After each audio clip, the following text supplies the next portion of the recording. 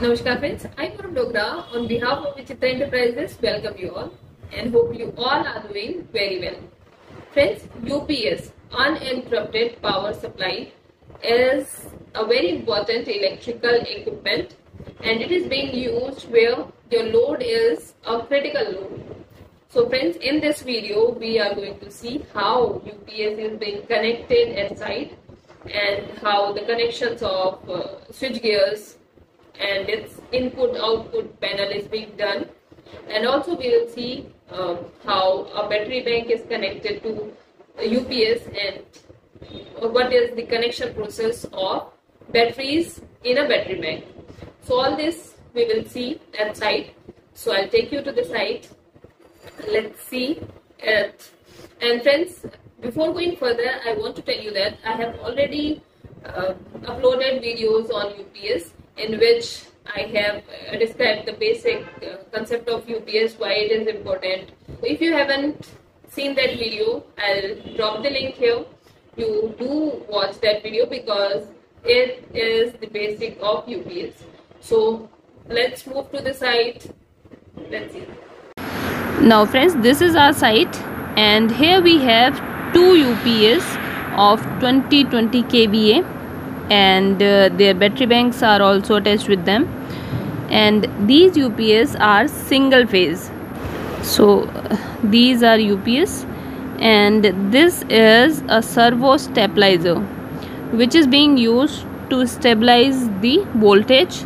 And these boxes are phase sequence corrector and you can see the whole site. There is no input output panel. Uh, this one is bus bar. And you can see the whole mess of cables is there.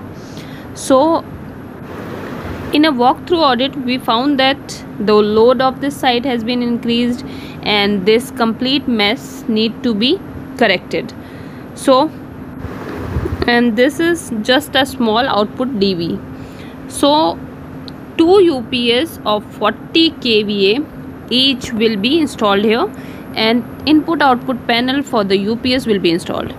Now this is the new 40 kVA UPS now let us first check the flow chart of a UPS here you can see bypass mains battery in the uh, left hand side and load at the other end so first bypass. Bypass is a bypass.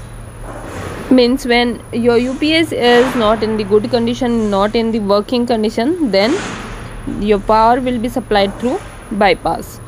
Second one is mains. And this is the flow of normal uh, or regular UPS process. So your power AC power will be connected at mains point. Then AC will be converted into DC and this DC will be stored in batteries. And after that again DC will be converted into AC and finally the load will be connected to AC power. And friends that's why your online UPS is also known as double conversion because first your AC is converted into DC then DC again is converting into AC this is double conversion process. And in this LCD panel we can see other parameters also like main input the conditions of the main input like like input phase voltage line voltage current frequency and uh, bypass input inverter output we'll see inverter output here. Like in inverter output also you can see phase voltage line voltage current frequency all these parameters. And also in this LCD panel you can see quick summary summary in which main voltage and bypass voltage all details is being given. And uh, again this is power flow. So many settings are there you can see. So that was front side of the UPS now we'll see what is there in back side of it and connections.